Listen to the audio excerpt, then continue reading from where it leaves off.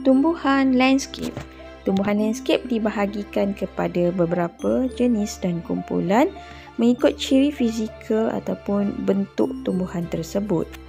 Jenis yang pertama adalah pokok utama ataupun dikenali sebagai pokok teduhan ataupun pokok naungan.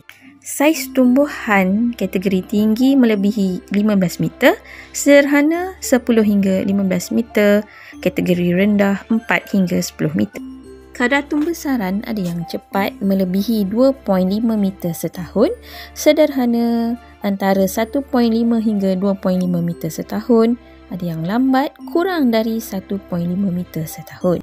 Kepadatan daun ada yang berdaun padat, kuantiti daun yang banyak dan lebat, sederhana dan terbuka iaitu kuantiti daun yang sedikit. Dari segi warna daun pula, kebanyakan tumbuhan tropika mempunyai daun berwarna hijau tetapi terdapat juga tumbuhan yang mempunyai daun berwarna-warni atau mengalami perubahan warna pada sesuatu masa.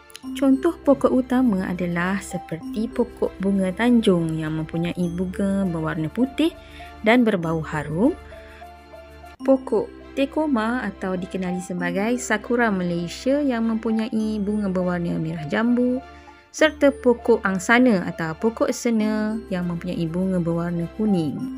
Kenal pasti pokok utama yang berada di sekeliling anda.